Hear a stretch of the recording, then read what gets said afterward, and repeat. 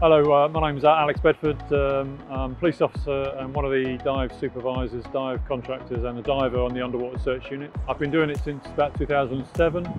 Um, we have uh, nine, nine officers at the moment, uh, looking at uh, recruiting another four. So the, the underwater search unit um, is capable obviously of searching underwater up to um, a depth of 50 metres. We also have the capability of boats, so we can dive from boats or we can search with the boats.